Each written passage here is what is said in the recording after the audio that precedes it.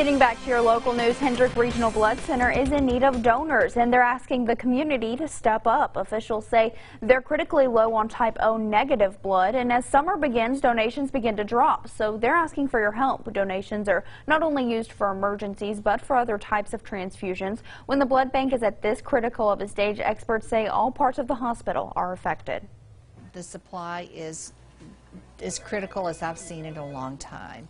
And what people really need to remember is how the hospital depends on blood availability, whether it's for the emergency room, the uh, neonatal intensive care unit, for surgery, for oncology patients. Uh, people expect blood to be there when it's needed.